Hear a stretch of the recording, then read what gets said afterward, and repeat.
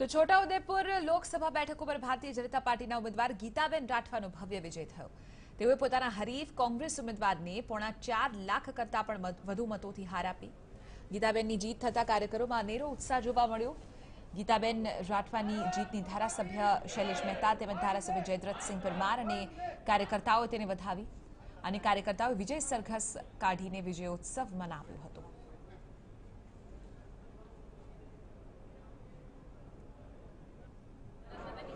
છોટાદેપુર લોકસભાની આ જીતનો શ્રેય મારા તમામ ભારતીય જનતા પાર્ટીના કાર્યકર્તાઓ, જિલ્લાના હોદ્દેદારો, ધારાસભ્યશ્રીઓ, સરપંચો, તાલુકા પંચાયત, જિલ્લા પંચાયત અને માનનીય મોદીજી અને અમિત